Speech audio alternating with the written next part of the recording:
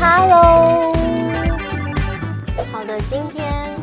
就是要来暌违已久的搜包，这个可以先介绍，这是我前一阵在日月潭旅游发现的一个类似奇亚籽，它是原住民他们的一种膳食纤维，叫做麻鲁果。我现在可以先把它。加在这个水里面五分钟后呢，它会膨胀，咬起来有一点像珍珠，算是帮助每天补充一些膳食纤维，然后肠胃蠕动也会比较好。继续介绍我的小包包里面，这个就是也是防疫期间必备的抗菌湿纸巾，因为我在防疫期间就是会想要买一些抗菌类的物品，包含这个最近喜欢的空气还有衣物的芳香喷雾，它就是有抗菌的效果以外，主打是有芳香果，我比较当做是疗愈物。这个是薄荷的，然后这个是玫瑰，我特别喜欢这两个，因为它只有薄荷里面是有薄荷精油，自己是很喜欢精油的人。像工作前，我刚刚在这个空间也会这样，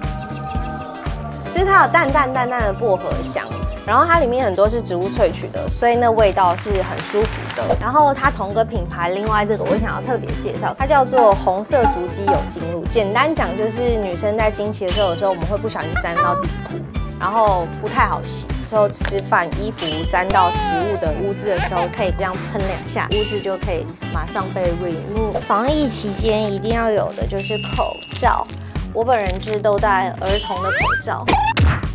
正常人口罩，因为我就会变成这样子。然后我前一阵子就是去爬山，我会把这个当整个眼罩，就是直接这样睡觉。我爬山想要推荐我最近就是新购入的运动手表，介绍这个我最近买的新相机，它里面就是可以调低、中、高的美肌效果，让我在睡的时候看起来也很美。然后这是我自己会随身携带，连爬山都会带上山的糖果。我个人就是有着迷 Pickle 娃娃，其实我真的无时无刻会吃这个糖，家里有一大小箱，我每天出门会携带，它是我的精神粮食。希望有一天可以拍到糖果广告，因为我是一个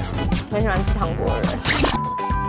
赶快去买杂志，就可以获得我手上的这个喷雾哦。